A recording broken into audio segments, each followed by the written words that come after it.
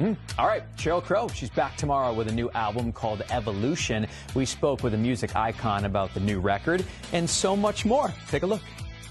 This album is a bunch of songs that are completely inspired by what's happening right now. Um, and also that document my journey of self discovery, and it's a letter to all of us about not hanging on to things that we can't change.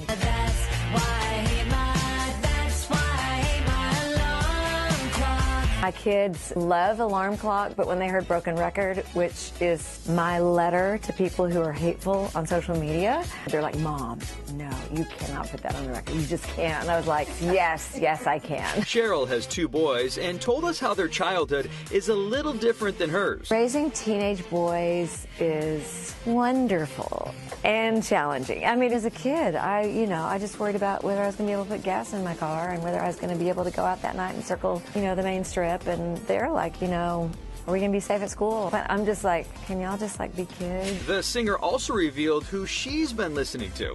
Just got a, an advanced copy of St. Vincent's record and it blew my mind. I just got Kacey Musgraves' record. I love it. So, can we expect to see Sheryl on the road? We are opening, doing a bunch of opening dates for Pink in the fall. I love Pink. Um, I think she's awesome. I may follow the Lionel Richie um, rules of playing live, and that's to play play the hits.